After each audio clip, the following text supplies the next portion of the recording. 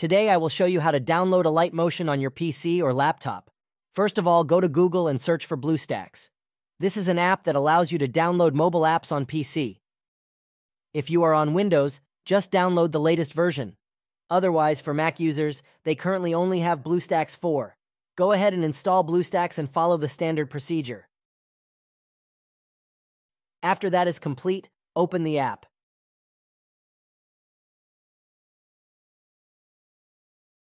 You will notice they already have the Google Play Store already installed. You just need to sign in and you can now search for Alight Motion there.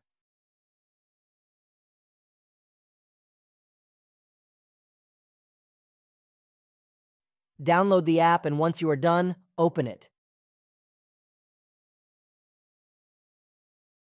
You will need to go through the premium upgrade screen and watch ads before you can actually skip the part where you can start using it.